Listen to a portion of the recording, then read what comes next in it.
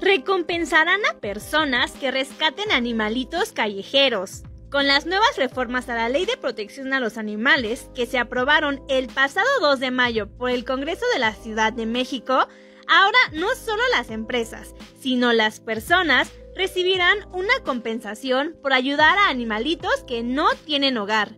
De acuerdo con la organización Mars Pets, en México hay más de 27 millones de animales en las calles, por lo que se pretende que esta iniciativa motive a más personas a ayudar a los animalitos que viven sin una familia. Cabe mencionar que este apoyo ya se otorga a personas morales, es decir, a organizaciones y asociaciones que se dedican a rescatar animales.